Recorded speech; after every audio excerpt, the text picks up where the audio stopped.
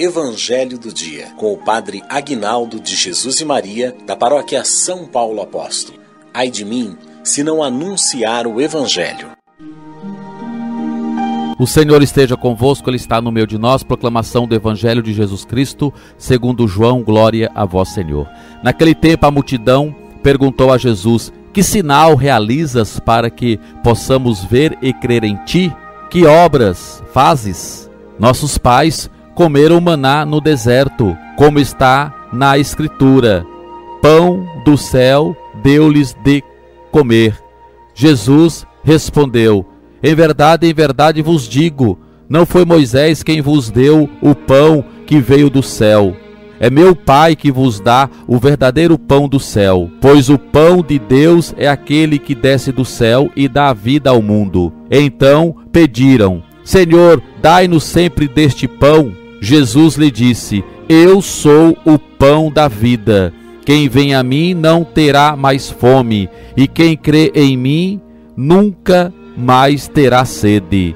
Palavra da salvação, glória a vós, Senhor. Que a palavra do Santo Evangelho perdoe os nossos pecados em nome do Pai, do Filho e do Espírito Santo. Amém. Amados, esse Evangelho é tremendo, porque Jesus vem dizer assim: olha Moisés, quem vos deu o pão que veio do céu, é meu Pai, é meu Pai, é meu Pai que vos dá o verdadeiro pão do céu, pois o pão de Deus é aquele que desceu, que desce do céu e dá vida ao mundo. Então pediram, Senhor, dai-nos sempre deste pão. Jesus disse: Eu sou o pão da vida. Quem vem a mim não terá mais fome, e quem crê em mim nunca mais terá sede no sentido espiritual. Quando nós estamos em Deus, Jesus sacia a nossa fome, a nossa sede. Nós temos a certeza que nós vamos passar por. É claro que nós vamos passar por problemas. Isso faz parte da vida. Mas quando eu estou em Deus, eu sei que eu vou ser, que eu vou ser um vencedor, porque eu não estou sozinho. Agora, será que eu acredito mesmo? Quero falar com você católico que não vai na missa. Será que você acredita mesmo que na horta consagrada está Jesus em corpo, alma e divindade? Será que você acredita? E como que você diz que acredita e não vai receber Jesus? Será? que eu acredito, você que está afastado da sua igreja, você que não comunga, você que não vai na missa, que diz que acredita em Jesus Cristo, lá tem Jesus que nos alimenta, que nos dá força, que nos dá coragem, que nos renova, que nos restaura na Eucaristia. Na Eucaristia, Jesus está presente, saciando a nossa fome, saciando a nossa sede, e você não vai buscá-lo? Será que você acredita?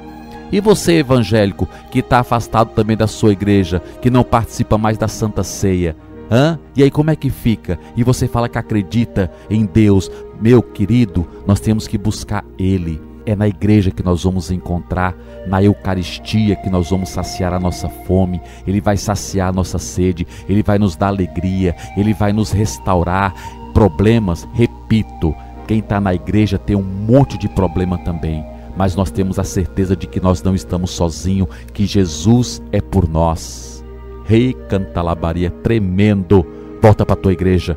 Vem receber Jesus, que é o caminho, que é a verdade e que é a vida. Deixa ele saciar a tua fome, deixa ele te encher de esperança, deixa ele renovar a tua fé, deixa ele te levantar. Ele vai saciar a tua fome, porque ele é o caminho, porque ele é a verdade, ele é a vida, ele é o pão descido do céu. Amém.